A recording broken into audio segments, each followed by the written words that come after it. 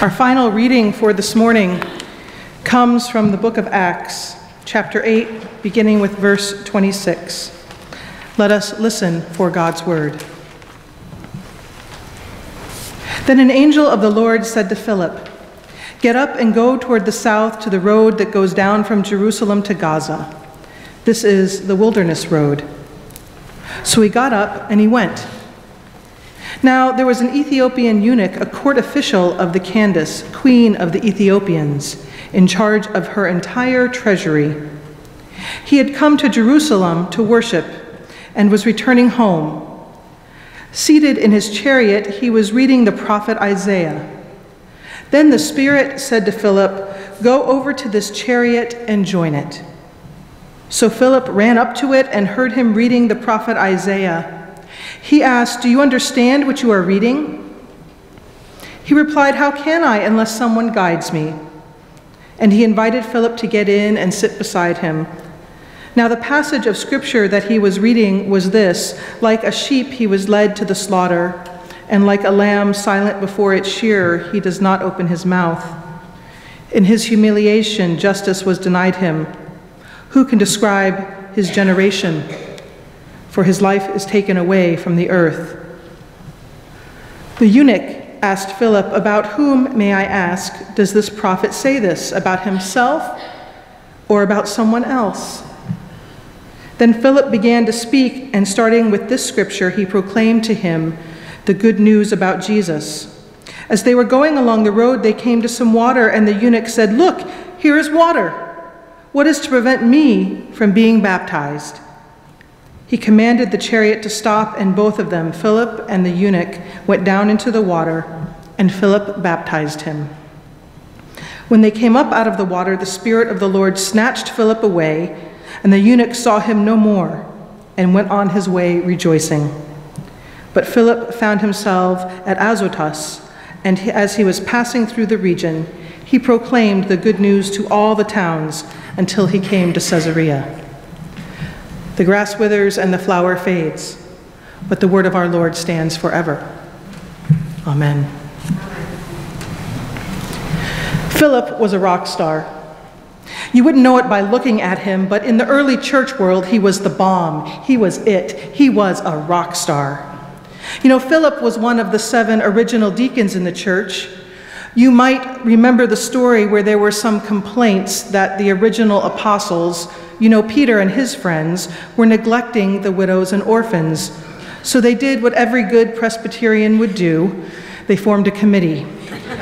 they formed a committee of seven men who would be the first deacons. Their primary responsibilities were to tend the poor, the widows and orphans, the ones who were most vulnerable in society, and the sick. So that is what Philip was doing. He was engaged in a ministry of care and compassion. It was what he was called to do. But then things got really bad for the Christians, really bad. Saul, who we know as the Apostle Paul, was persecuting Christians he watched as another deacon, Stephen, was stoned to death. He barged into people's homes and arrested men and women and sent them to prison because he suspected they were part of the Way, the name for the early Christian church. So, what did everyone do? They fled, they scattered, they got out of Dodge or Jerusalem, as the case may be, Philip included. But here is something amazing. Philip didn't go somewhere else in Israel. He went to Samaria. Samaria is the last place a good Jew would go. And let us remember that Christians were also still practicing Jews in the first century. But the animosity between Jews and Samaritans, it was real. Remember, the power behind Jesus' parable of the Good Samaritan was that the Samaritan, not the priest or the Levite, good Jewish men who stopped, it was the Samaritan who stopped and helped the person who was beaten and left for dead on the side of the road. It was the Samaritan who was compassionate and generous, not the two others. And it was to Samaria that Philip went. And it was there that he began his career as a rock star. Philip, who was kind and compassionate, went to Samaria and began to preach the good news about Jesus Christ. He healed people in Jesus' name. He baptized both men and women, and Luke tells us there was great joy in that city, all because of Philip.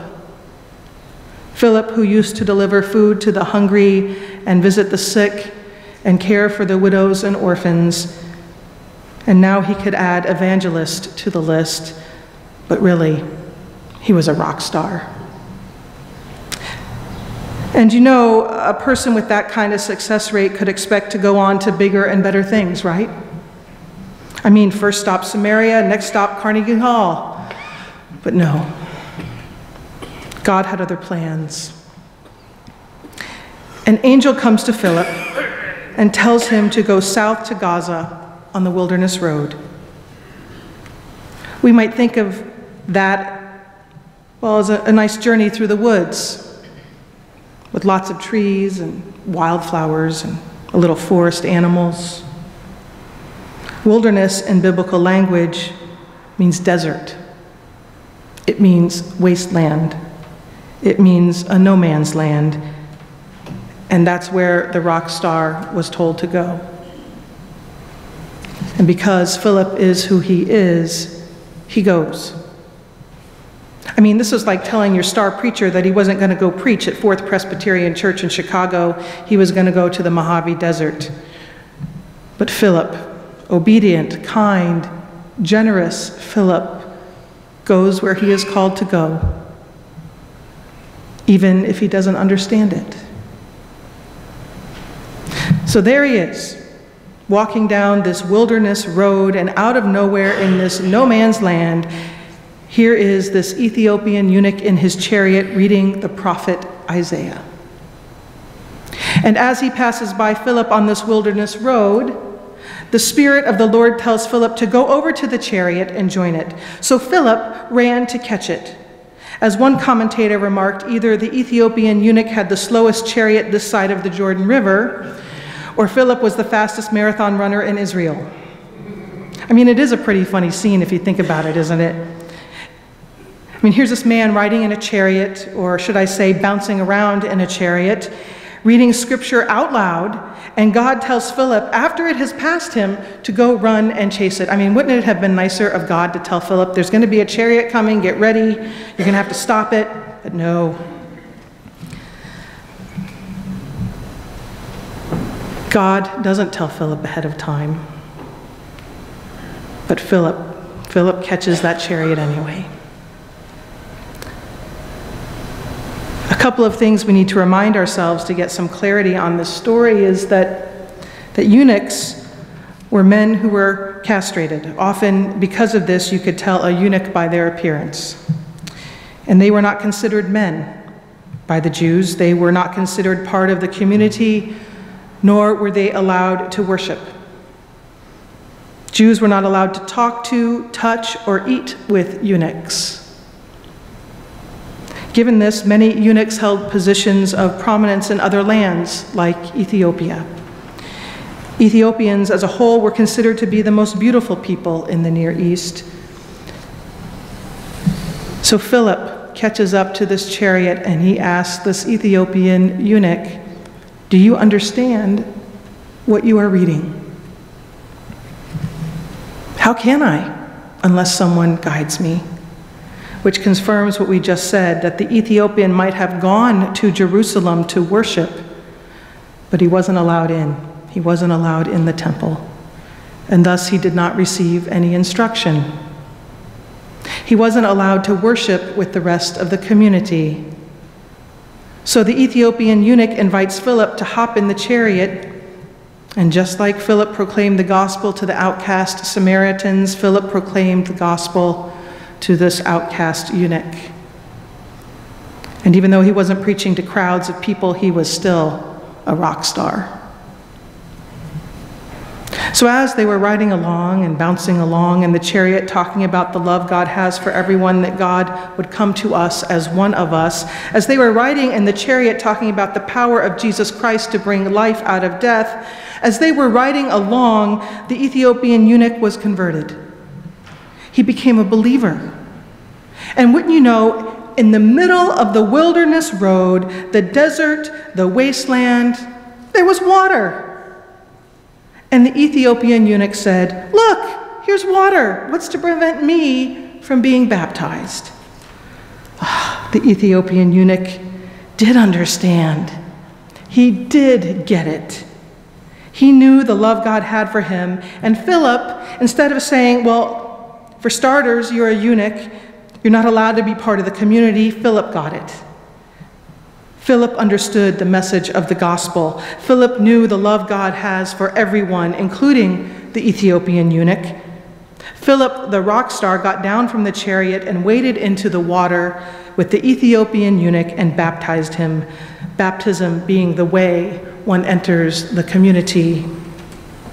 And as he came up out of the water, the Spirit of the Lord snatched Philip away and as for the Ethiopian, he went on his way, rejoicing. And Philip, the rock star, finally made his way north to Caesarea, preaching all the way. You see, I think we are all called to be rock stars like Philip. The story has me thinking if Philip, a man who was called to serve others, a man who was called to take care of the least of these, if Philip can go to the places that no one wanted to go and to be with the people that no one wanted to be with, what is stopping people like you and me from doing the same? What is stopping us from being the messengers of good news to those people whose society or the church or our work or school say don't belong? What is stopping us from welcoming people who are oppressed and outcast in our society into our community?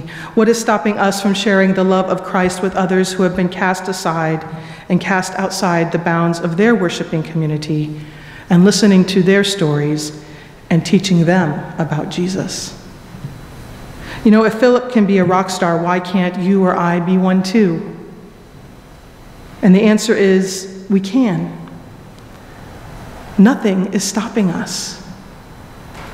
As a matter of fact, I think that is exactly where God wants us. God wants us to go to the outcast, to the people who have no voice, to the people who have been excluded from being part of a community, even or maybe especially those who have been excluded from a worshiping community. Sometimes God, sometimes God wants us to go to the people that make us the most uncomfortable and proclaim the good news of Jesus Christ to them. There is a whole world of hurting people. And we have a message of love and joy and hope and belonging that I believe God does not want us to keep to ourselves. And I don't believe God wants us to pick and choose with whom we share the love and grace of the gospel. I mean, you may think you've been called to be, well, only a disciple, but I believe God would love it. God would love it if each of us were not only willing to live lives of faithful discipleship, God would love it if each of us, too, was a rock star like Philip. Sometimes we will go to places where we want to go and will have impact on many lives for the good. And sometimes it will mean we have to walk a lonely desert road and help the one person God presents to us. Philip, he was a deacon, but really he was a rock star. And I believe you are too. Amen.